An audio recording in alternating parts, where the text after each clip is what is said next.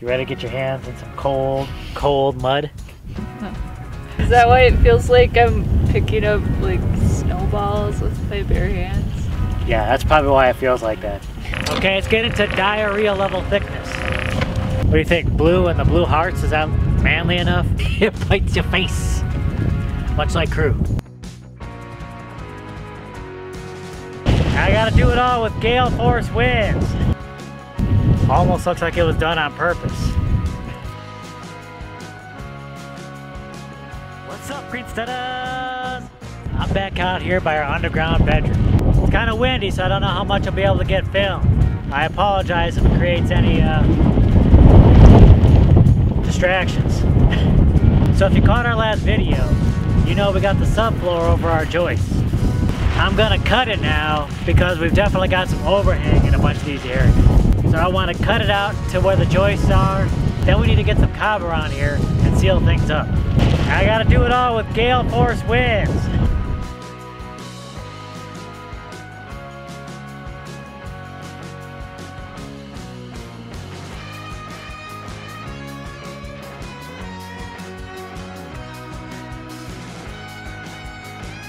I actually think the way I cut the OSB this time versus the root cellar actually turned out a lot better. The cuts are almost symmetrical and it has a kind of, kind of this cool star shape to it. Almost looks like it was done on purpose.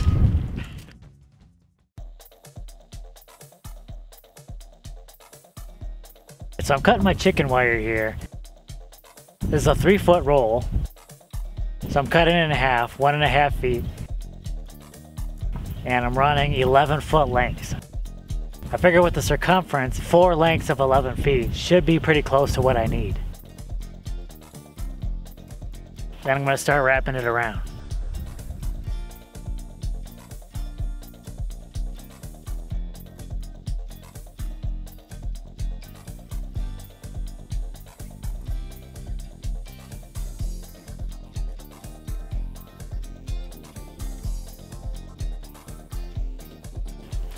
Are you bored? Are you bored? You want to take a walk? Want to walk?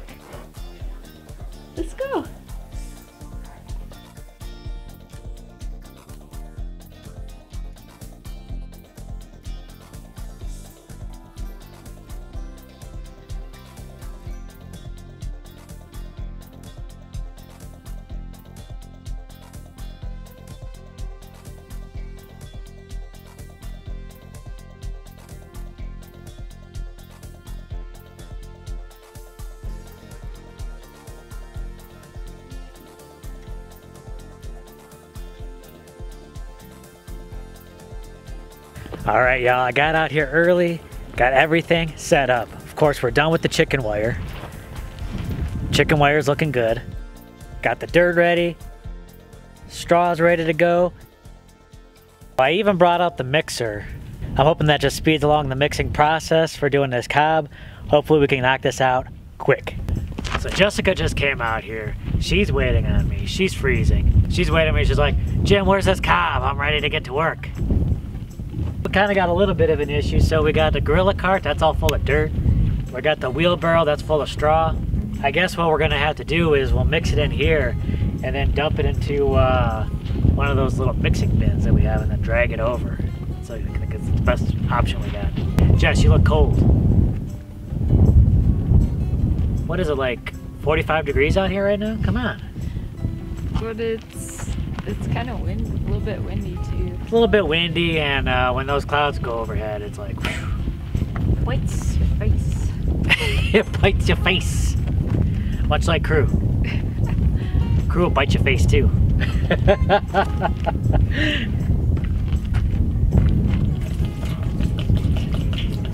I'm just gonna dump this whole gallon of water in here.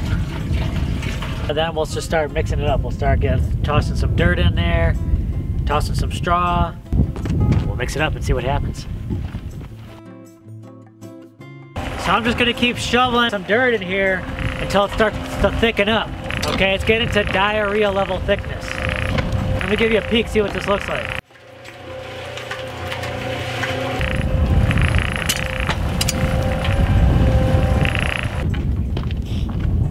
Yeah, if you don't want to ruin your your new glam gloves. I got your old glam gloves right here. Well, I forgot to get more gloves at the store, but no worries. We have plenty of glam gloves. I don't know why we have so many glam, glam gloves, but uh, what do you think? Blue and the blue hearts, is that manly enough?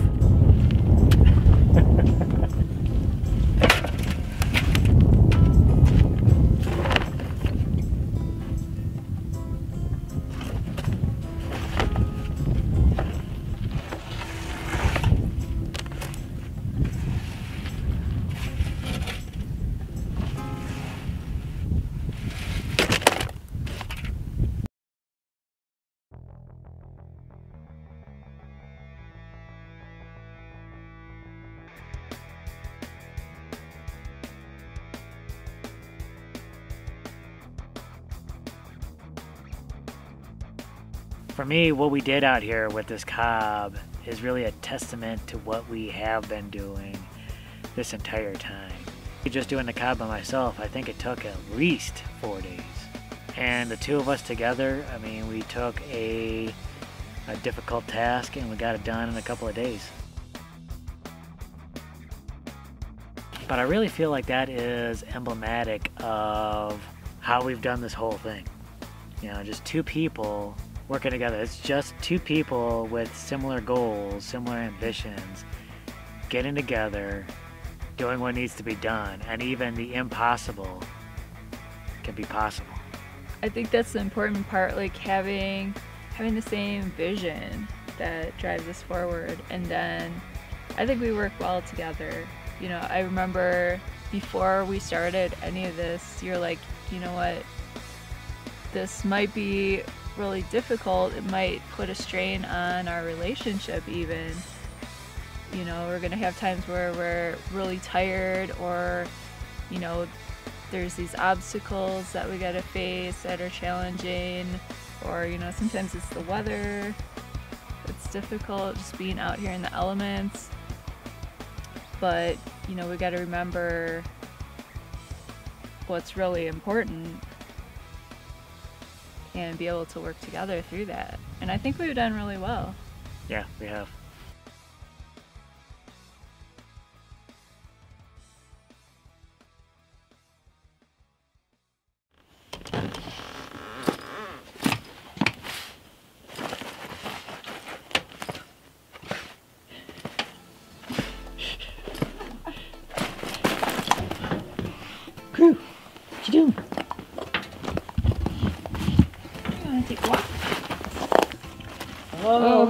Look at this guy. Again. You're stubborn, dude. Let's take a walk, not a ride. Come on, Don't be lazy. don't be lazy. Come on, let's go. Let's go.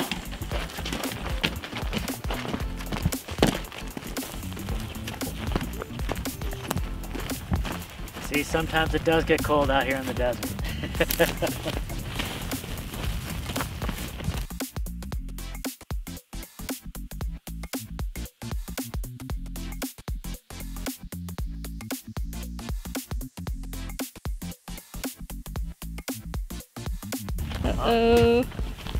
Cows over there?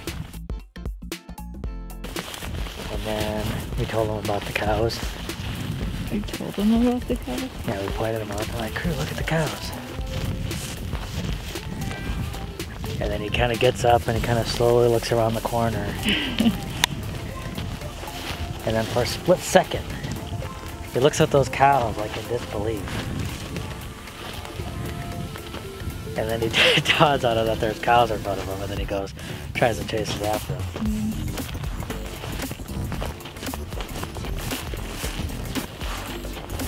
Did you even see those? Those ones over there? Now.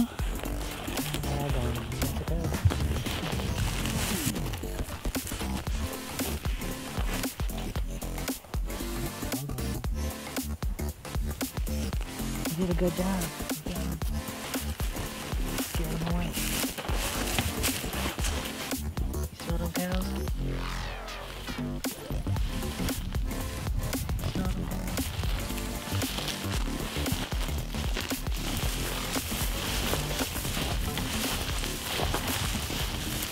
Did a Good luck. You have a good walk, buddy? Oh, still on. Well, we worked long and hard yesterday. We were out here all day. Uh, cabin just takes a while. Again, this part, much like all the rest of the parts, have just seemed to be going so much quicker than they have before. I think the mixer helps, and uh, definitely having a couple people out here helps. So we're about halfway done. I don't think the rest of this will take too long. It's a little bit chilly today though. The high is supposed to be 51, so it's gonna be tough uh, getting your hands in the cold, wet mud and applying it around. But uh, I think we can get it done today. Let's do it. Yeah!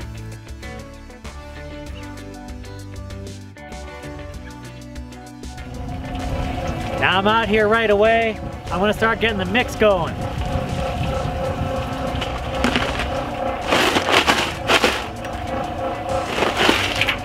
It must have got pretty cold last night because uh, a lot of ice in this here.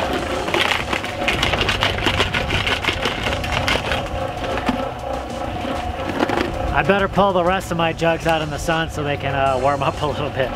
It is a cold one today, isn't it? It's cold. Yeah, it's not very fun doing cob in like 40 degree temperatures. But yet she's out here anyway, ladies and gentlemen. I just want to point that out. It's cold. She's bundled up.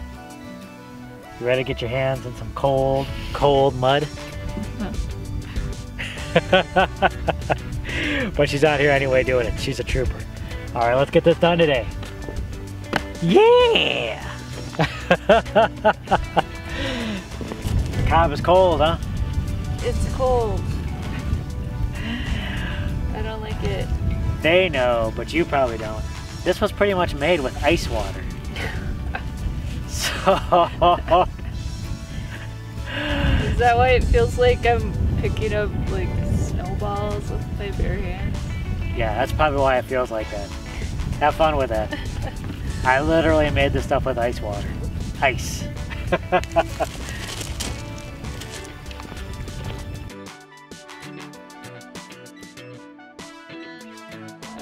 So with this cob process, kind of like the earth bags, we've been kind of splitting it up. I've been doing the digging to get the dirt, getting the supplies, doing the mixing, and Jessica's been doing the applying. And so far that's been working out real well. It's just a, a really a testament to what two people can do. Can you imagine if you had more people with similar goals and similar ambitions working together to achieve something? Could you mm-hmm. imagine what's possible? Throughout history, in these smaller communities and tribes, that's how they built things. The community came together as kind of like an extended family, and they all worked together and, and helped create things. I mean, a community coming together, building houses for each other. You could probably knock out houses like this super quick, and a community could really build up uh, real fast. Order up. You did order more mix, didn't you? Uh-oh, almost rounding that corner.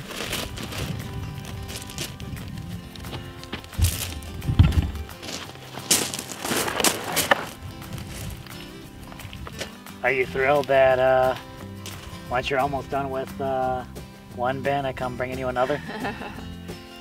Never stops. uh, Jess over here is just doing an amazing job getting uh, getting all that cob around the base here. Uh, fantastic work. Fantastic mixing. Then we're going down to the last side. Ooh, there she is.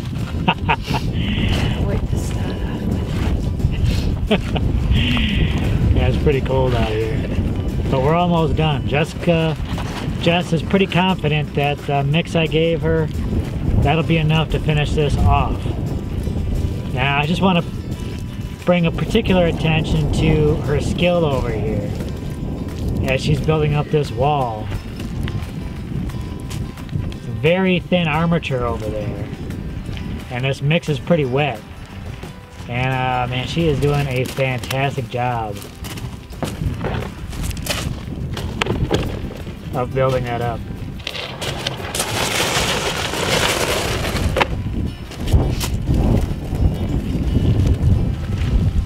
So uh, tell them uh, what's your technique here?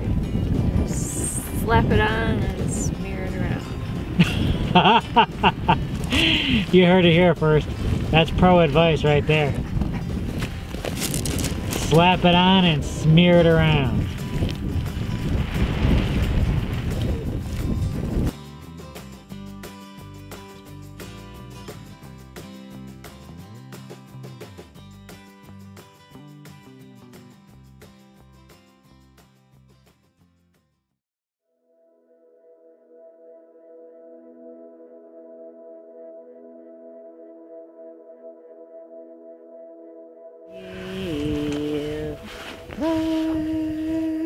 Oh man, so uh, one, yes, uh, it is cold out here, but uh, here we are. Um, we're at the, uh, for you guys, you'll be seeing this right at the beginning of the new year, but we've just completed our third earth bag structure within a year.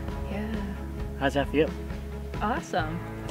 You know, you start off and you have these big dreams and then you're about to start and the task seems really daunting but then once you're in the midst of completing it it just doesn't even seem real. But here we are now with the completion of this cob everything is sealed up so we don't have to worry about you know little animals getting in there or anything like that. And now we can continue on with the build. And i know a lot of people have been asking well how are you going to get in here? You don't have an access hatch. And that's done on purpose. So we're building a dome now that will go over this. And i don't want a big hole in um, the middle over here it makes it that much more dangerous. Plus, we have to worry about, you know, keeping things covered adequately. This way it's like completely sealed and it'll be able to brave the elements while we're building the dome on top of here. But Yeah. that is what is happening next. Oh, I'm really excited about this part. I mean, we have experience doing earth bags now, but we've never done a dome yet. So it's a little scary, but it's exciting too. Man, I can't wait to. A new year, a new earth bag project, so many new possibilities. Definitely stick around. Definitely give this video a thumbs up. Definitely subscribe because you gotta see this dome going up. Alright, y'all. We'll catch you on the next video.